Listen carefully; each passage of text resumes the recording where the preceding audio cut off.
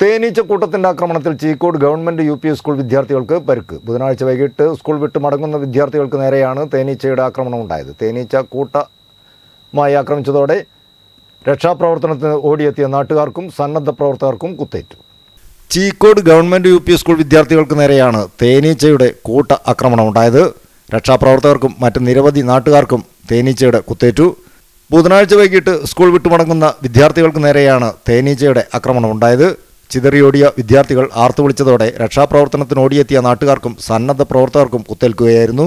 മുപ്പതിൽ പരം കുട്ടികൾക്കും ആറ് മുതിർന്നവർക്കുമാണ് തേനീച്ചയുടെ കുത്തേറ്റത്.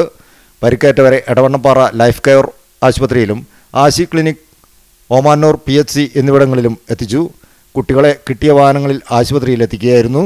കുട്ടികൾ ആരുടെയും പരുക്ക് ഗുരുതരമല്ലെന്നാണ് അറിവ്. എന്നാൽ മുതിർന്നവരുടെ കൂട്ടത്തിലുണ്ടായിരുന്ന ജലീൽ ചോലയിലിന് സാരമായി പരിക്കേറ്റതോടെ കോഴിക്കോട് മെഡിക്കൽ കോളേജ് ആശുപത്രിയിലേക്ക് മാറ്റുകയായിരുന്നു. രക്ഷാപ്രവർത്തനത്തിനായി ഓടിയെത്തിയവർ സമയോചിതമായി പ്രവർത്തിച്ചതോടെ കൂടുതൽ പേർക്ക് പരുക്കേൽക്കാതെ രക്ഷപ്പെടുകയായിരുന്നു. രക്ഷാപ്രവർത്തനത്തിനിടെ ചീക്കോട് ഗ്രാമപഞ്ചായത്ത് പത്താം വാർഡ് അംഗം K C Abdul കരീമിനും T D R F Cheekode panchayat volunteer captain അബ്ബാസിനും തേനീച്ചയുടെ കുത്തേറ്റിട്ടുണ്ട്. News bureau Vazhakkad.